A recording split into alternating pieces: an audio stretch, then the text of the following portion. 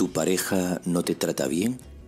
¿Cuáles son los costes sociales y pérdidas afectivas que estás dispuesto a pagar? ¿Hasta dónde aguantar la indecisión del otro? ¿Temes decirle que no? No aceptes pasiva ni condescendientemente el rechazo.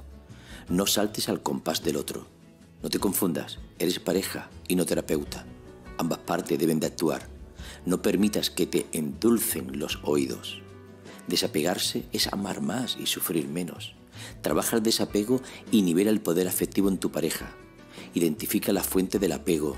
Asume la libertad y ejércela. Aprende a vivir la soledad. Explora hobbies nuevos.